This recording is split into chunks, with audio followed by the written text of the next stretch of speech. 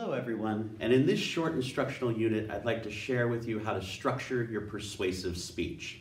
Now for your informative speech, you had a lot of freedom. You had a lot of different choices about how to organize it. You might have organized it chronologically or spatially, or even depending upon your topic, you might have chosen different organizational schemes. Like for example, if you wanted to do a speech about painting, you could do the history of painting, the past, the present, and the future, or you could do a speech about how to paint, the materials, the procedure, and the cleanup.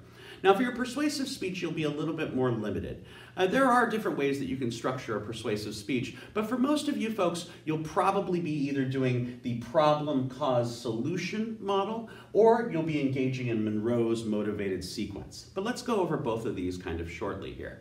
So there's a lot of similarities between all speeches. So remember, you're still going to start off with your introduction with a Roman numeral 1. The A subpoint's going to be your attention grabber. Still grabbing attention the same way. You can start off with a story, you can use a statistic, you can ask a question, you could use a quotation, or you could always go for telling a joke. After you're done with your attention grabbing mechanism, then you want to move on to your audience analysis. Now your audience analysis in a persuasive speech is going to be a little bit different because you're going to try and figure out where the audience stands politically on your particular persuasive issue.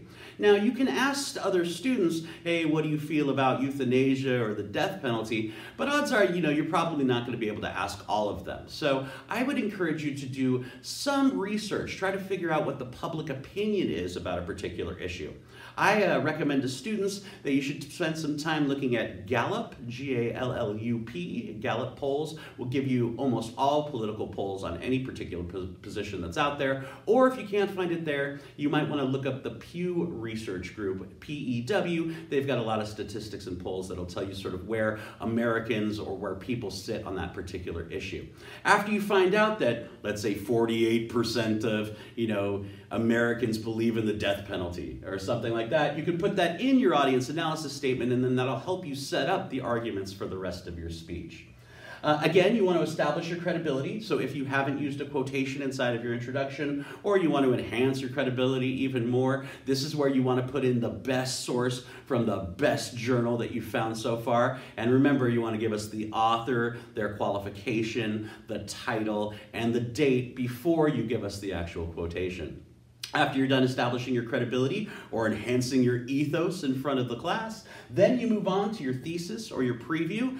And now when you set up your thesis or your preview, it's going to be pretty simple. You're going to do a problem, cause, solution framework.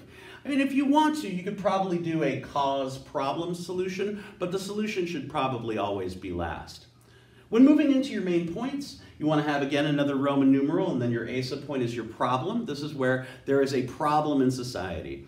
Uh, Lloyd Bitzer writes an amazing book in the 1960s called The Rhetorical Situation, where he talks about how all public speaking is concerned with what he terms an exigence, an imperfection marked by need or urgency inside of society. So people are dying, people are starving, people aren't getting educated, whatever big problem that's out there, this is where you want to quantify it. You want to put statistics in about what the big problem is that's going on. After you've established the problem, then you can move on to the cause. So you want to figure out what the root cause of the problem is, or maybe there's something in our society that's blocking a solution. That could be a cause to a problem as well. And after you really get to the root cause of the problem, then you can move on to some solution steps that try to tackle the underlying cause and henceforth try to solve the original problem.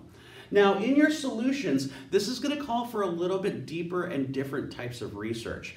I expect you folks to be able to give me something that I can do immediately after your speech. You know, tell me that I can join an organization. Tell me that I can write a local letter to my congressperson. Tell me I can boycott a particular product. You got to tell the audience what they can do to enact change in the real world. So I recommend that first you want to think about what we can do personally, right? So let's say you're doing a speech about waste, you know, so you can tell people, hey, recycle more, right? Save your cans, save your plastics, save your bottles.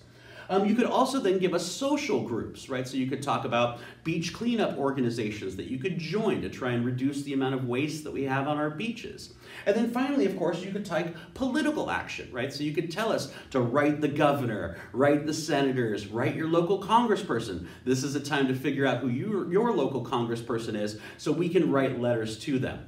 You might also include things like change petitions here or GoFundMe pages that people can donate to. But you want to make sure you try to tackle all three what we can do personally, what we can do socially, and what we can do politically. After you're done with your solution steps, then it's time to conclude. So your Roman numeral three here is your conclusion. You're going to review your main points. So today we talked about the problem, the cause, and the solution. And then finally, of course, end off with some sort of bang, some sort of powerful final statement. You know, pathos appeals tend to work really well here. You pull at the emotional heartstrings of the audience just towards the end. Now, most of you folks will probably do a problem cause solution framework. It's pretty straightforward, it's easy to research, and it gets you through. But some of you folks might want to kick it up a notch, and you might want to move to Monroe's motivated sequence. So Monroe was a professor over at Purdue University, and in the 1930s, he tried to figure out a way that you could always structure a speech to make it effective as a means of persuasion. And so he comes up with the attention, need, satisfaction, visualization, action model, or what we call Monroe's motivated sequence. You know, it's a little bit different. So your introduction's still the same, right? You grab the attention of the audience, so you tell a statistic, you tell a story, you ask a question, you tell us a quotation, or, you know, you try a joke. then, of course, audience analysis, credibility, and your thesis statement will then preview the need, the satisfaction, and the visualization points inside of your body. When you move into your body, the need is somewhat like the problem, that there's a need in society. You know, people are dying, people are starving, people can't find good homes. Then you want to talk about how you satisfy this. So how can we allocate resources as a society, or how can we as individuals satisfy the urgent, pressing exigence or need that's inside of contemporary society? Now, this is the big difference. After you're done satisfying the need, then you visualize, right? So then you want to take a moment and say, imagine a world where everybody gets to go to college for free and everyone has the chance to climb the socioeconomic ladder, right? So you want to visualize a world, and that sort of entices the audience now to want to take some sort of action. Then you move to your conclusion, and then, of course, your A subpoint is restating those main points. So today we talked about the need, the satisfaction, and the visualization. And then, according to Monroe, the final step is calling us to action. So now you've primed the audience, and at the very end, then you give us personal, social, and political actions that we can take to go out and make change in the world.